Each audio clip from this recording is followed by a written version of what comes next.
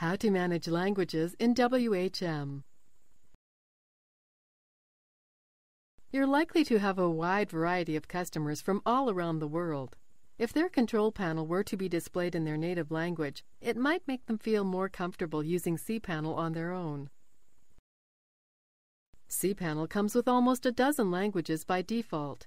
You can manage the default languages and add new ones in the Languages category. This tutorial will give you an overview of that entire category. Find it in the menu. Start by viewing all the installed languages. As you can see here, cPanel comes with languages files in Arabic, Bengali, Chinese, English, French, German, Hindi, Japanese, Portuguese, Russian, and Spanish. These are among the most widely used languages in the world, so they should satisfy almost all of your customers. All 11 default languages are available for the latest cPanel theme, which is probably what you'll be using. Some of the languages are also available as UTF-8 versions, which allows for a wider variety of text characters. Next, let's create a new language. First, select the language on which to base the new one. That language will then be cloned.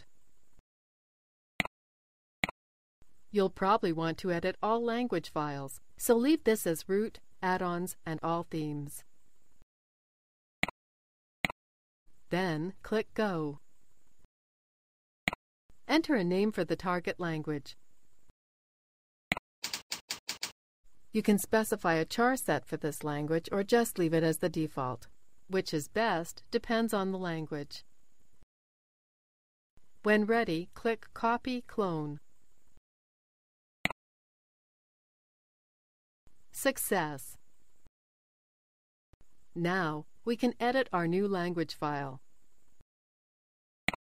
You have two choices here. Live editing allows you to access a standard cPanel interface and edit portions of text by clicking on them. This will only work when editing resellers' profiles. The other editing tool gives you a list of phrases along with a text box with which to edit each one. As stated above, best results are obtained by using both tools together. Let's see how to use the standard editing tool. Select the language recreated from the list. Ensure that the correct file is selected, then click Go. As you can tell by the scroll bar at right, this list is quite extensive. Scroll through it and change whatever you like. If a phrase has been modified from the English version, it will show up in green. Click Save when you've finished making changes the file has been saved. Next, take a look at the language upload page. In addition to the default languages, you can download community-managed language files from cPanel's site at lang.cpanel.net. Translating every single phrase cPanel uses to a different language is obviously a long, monotonous task. When possible, save yourself some time and look for an existing translation. Upload a language file on this page using the form here. Make sure you specify the right file or theme in the list. You can also download a language here. Select the language from the list. Pick the desired file or theme.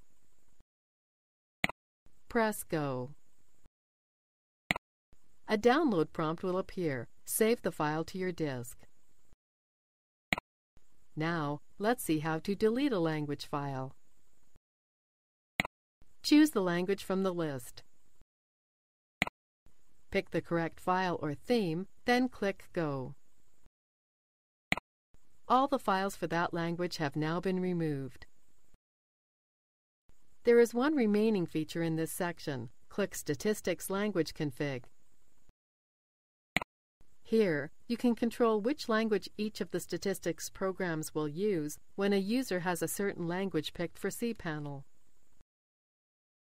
By default, All languages will use English for the statistics programs. Scroll through and update the settings as desired, finding the closest match to the language used in cPanel. When finished, click Save.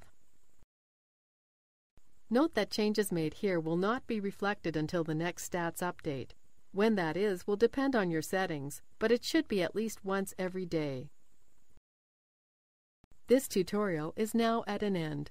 You now know all about managing languages in cPanel WHM.